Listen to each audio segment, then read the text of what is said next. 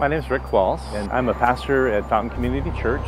I've been pastoring in Bellingham since 1971, so I have the honor, I guess, of being the oldest pastor that's still serving in Bellingham. And I am the director of the Samish Way Coalition that started about two and a half years ago.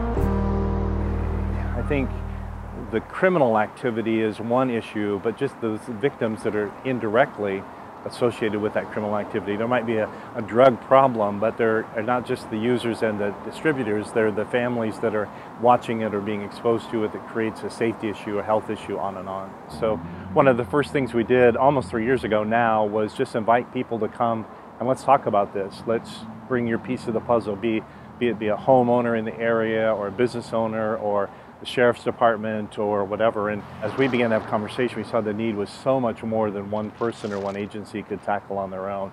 So we had to look at um, the housing scenario, the safety scenario, the morality scenario, the drug use, health, all those kinds of things.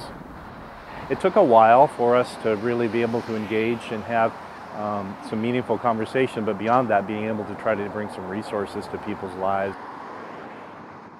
Part of our group felt like the best way to address this was to actually be on site. And it started with that, with a, a week at the hotel, and then we opened a center up here on the, on the corridor for about a year and a half. I think one of the hardest situations was seeing a family of seven in a motel room with two beds and seeing little kids that had nothing. Wasn't just about getting emergency housing, it wasn't just about care for their kids, it was about a job. It was about hope for the future, about what do I do when I'm a single parent and I have three kids and I have no income. So um, it wasn't something we could just say, okay, this, this plan will work for you. It'll fix all your needs. We had to come up with a much broader scope.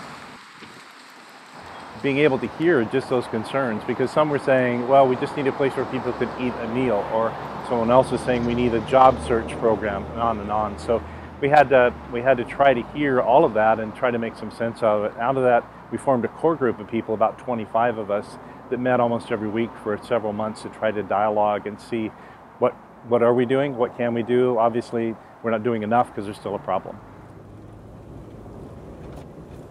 Recognizing that a lot of our skill set wasn't meeting some of the psychological needs, some of the health issues, some of the problems that are long, long standing. So we had to we had to continue to kind of beat the drum. We have to do this together. We can't we can't evaluate the need and then walk away saying it doesn't fit in my box. We have to figure out whose box it belongs to and how do we do this together. So we created we have a email list of about 100 different agencies and families and such that uh, represent other agencies and families. And it goes out in a network. When we have needs every week, we send it out. Here's the need. Who can help? So we'll continue to exist because the need continues to exist.